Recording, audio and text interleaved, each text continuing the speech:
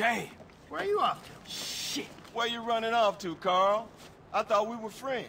Yeah, whatever.